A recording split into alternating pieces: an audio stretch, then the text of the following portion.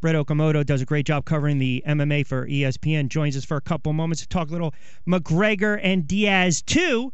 See if he's uh, excited about this one. I know there's been a lot of uh, fanfare surrounding this. A lot of uh, MMA fans don't want to see it. Some want to see it. But uh, Brett, first and foremost, appreciate a couple moments. How are you, Ben? I'm doing well, man. Of course. Thanks for having me on. Well, we appreciate it, and I'll tell you, you know, it's it's interesting too because anytime you get an opportunity for rematches, uh, I think people look at how the first fight or the fight transpired, and I look at this. Look, it's going to be at 170. I'm not going to say it's a no-brainer. I know there's a lot of pros and cons to this rematch, but I think, in my estimation, look, McGregor he's earned the right to handpick his opponent. I don't care what anyone says. I mean, you might agree, you might disagree. The revenue, what he's bringing to the sport, the titles, the the the, the flair. Uh, he's a braggadocious character. He's a loudmouth, borderline obnoxious, but he's a heck of a talent. And at the end of the day, that sells. I mean, what's your thoughts on this and the rematch right now going forward? Well, I mean, there's there's a lot to talk about with the rematch. You could get into all kinds of angles with it, but what you said about him earning the right to handpick his opponent, I I couldn't agree more, especially in this circumstance because the first time these two guys fought was on 11 days' notice. You know, Conor McGregor was trying to take a shot at history. He was originally supposed to fight the lightweight UFC champion Rafael dos Anjos, and Dos Anjos pulled out with a broken foot. And Yeah. most guys in this sport, if they would have been Conor McGregor, would have been like, well, all right, I'm going to pull off the card as well. They wouldn't fight a completely different opponent on 11 days' notice, especially when they're a champion. Conor McGregor is, is such a, a famous athlete at this point. They just don't take those kinds of risks. Like, I'm going to lose to a guy who's coming in on 11 days' notice. That would look terrible upon me. I'm just going to wait. I'll wait for my shot at, at Dos Anjos when he's healthy. Conor McGregor didn't do that, and, and that's what makes him so exciting and what makes him uh, such a fan favorite is that he's not going to pull off the card. He's going to fight somebody like a Nate Diaz, and I think he learned that night that there's a difference between fighting at 145 pounds and fighting a guy that weighs 170 pounds, and, and that ha- did have an effect on the fight. And so now he's he's getting an opportunity to go in with that knowledge and, and get that that shot at, at redeeming his that loss, I guess. So I have no problem with him asking for the rematch, and I really don't have much of a problem with the UFC giving it to him. Yeah, and I think you bring up a good point as well. When you talk about rematches, I always look at how the first fight ended. And people, again, they go by face value. We're in this social media age where someone might see a highlight and right away draw their own conclusion. This was not a one sided fight. It, it was. And I think, you know, Conor comes out, he dominates the first round. He was catching Diaz with the left. And then Diaz, to his credit, weathers the storm after that first round to pull off the win. So to me, I, I still think there's a uh, there's something to be said in that regard. If this was uh, if this was a, a quick tap out, a, a quick submission, uh, a quick knockout, uh, just like in boxing, if it's a first round or a second round, or maybe you're like, man, you know what, uh, these guys go at it again.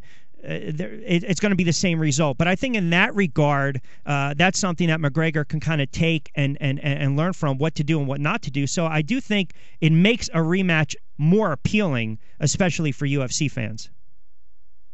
Yeah, I, I see the same thing. You know, that Conor's Conor McGregor's jiu-jitsu is terrible. You know, he went in there and he, he took a lame shot and he got choked out by Nate Diaz. Well, he got choked out in the second round after Nate had already boxed him up on the feet. I mean, the whole the whole point of him shooting that that awful takedown was because you know he was hurt and, and he was basically out on his feet and and that was after at a point where he was very tired that he had hit Nate Diaz with a lot of shots. He had put a lot into the left hand. You know, I think that Conor recognized very early on in the fight that the left hand is a big weapon for me. It keeps landing. Um, and so he went to that well a lot. You know, Nate Diaz, as good as he looked in that fight, I mean, Nate Diaz is not a perfect fighter. Right. You go back and look at the course of his career. I mean, this guy's never held a world championship. He's a very good fighter. He's fought for a UFC title before. But let's not all of a sudden say that this guy is completely unbeatable. I, I mean, Conor has weaknesses that he can exploit of Nate Diaz that he really didn't in the first fight because he fell in love with the left hand. So I'm not saying that that, that means that Conor McGregor is going to go in there and, and and and take him out early and easily this time. But I'm just saying, yeah, I agree with you. I think a lot of people are are hung up on what happened in that second round when Nate Diaz started to take over, and they're completely dismissing what happened in the first six minutes of the fight. Now you talk about fighters that really deserve shots at the titles, and you look at a guy uh, like Frankie Edgar, who I think is again, you, you talk about one of those great athletes and and a great all around fighter. I look at Frankie Edgar, and and how about this? You know, the fact that he's going to take on Aldo, and call it what it is. If you want to call it an interim featherweight title, that's fine. I mean, the winner is quote expected to face McGregor later in the year when the belts are unified. Um, uh, to me, I think this was it, it is a fight as a number one contender, perhaps uh, for the winner. But ultimately, what does it say? Is this more of an indictment on just the politics within the UFC, or of a guy of Edgar who's still not getting his just due or respect that he's kind of on the outside looking in again? I, mean, I think it's a combination of all of it. Uh, you've got you've got fighters who are willing to trash talk and they get certain opportunities, and then you have other fighters who let their performances speak for themselves. And unfortunately, this sport is based around tickets you can sell and pay per views that you can sell. So sometimes those guys get overlooked a little bit. And Frankie Edgar is a guy who has been given millions of opportunities to trash talk and he doesn't do it. And and that's that's a credit to him. I mean, he's he's basically stayed true to himself and true to his values and that's just not something that he's interested in, but that also means that he's not always the first guy that the UFC is looking towards, you know, when they're looking to build a massive event at UFC 200. So I think that that hurts Frankie Edgar in a sense, but it's also just because of how unique Conor McGregor is. I mean, you just don't see champions win a title and then automatically move up a, a weight class. Sure Mm-hmm. and and and be calling all these shots, you know, and that's just because we haven't really seen somebody like like McGregor who first of all is willing to do that and second of all just has the leverage to say I I want this fight and the UFC kind of has to go along with it. So I think there's a lot of things at play here. It's just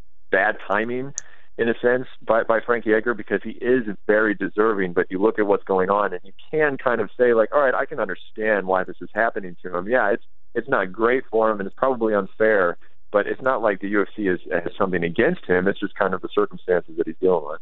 Uh, Brett, last one for you, and appreciate a couple moments uh, on this Friday. When you look at Jon Jones, I mean, again, it, it's just to me, it's just after a while, it's just flat out nonsense. I mean, you talk about a guy walking a fine line.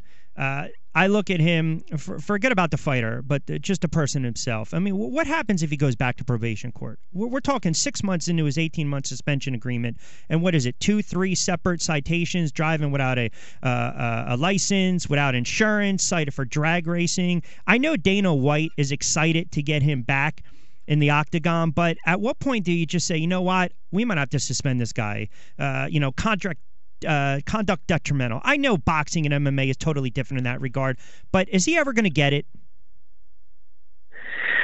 Yeah, I, I mean, I don't know if he's ever going to get it. I think it, it depends on what, on how you describe or, or you know define what does it mean to get it. I mean, the guy has uh, clearly should not be driving at this point. I mean, you, you look at, at at all of the different issues that he's had, and they've all stemmed basically from him being behind the wheel and I mean, someone has to step up around Jon Jones and say, "Look, man, get a Uber." Whether you, whether you ever asked to be Jon Jones or not, right. you are Jon Jones. I mean, you are a high-profile, best fighter in the world.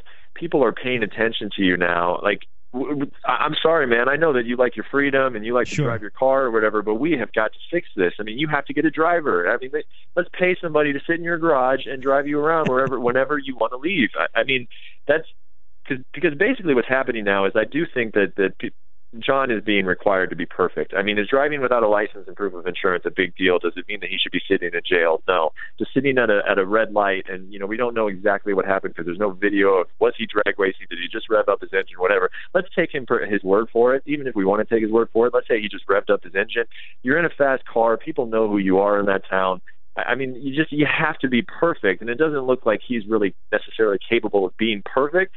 So it, it's created a weird situation in that, like, maybe he has gotten it. You know, maybe he's doing things a lot better in his personal life, but there's still just that little piece of him that can't be all the way 100% perfect. And unfortunately, that might cost him because when you're on a probation and everybody's eyes are on you, you, you have to live up to a different standard. And and so far, Jon has not really given us a lot of confidence that he's capable of doing that. So we'll see. I'm, I'm telling you, uh, Uber's a call away.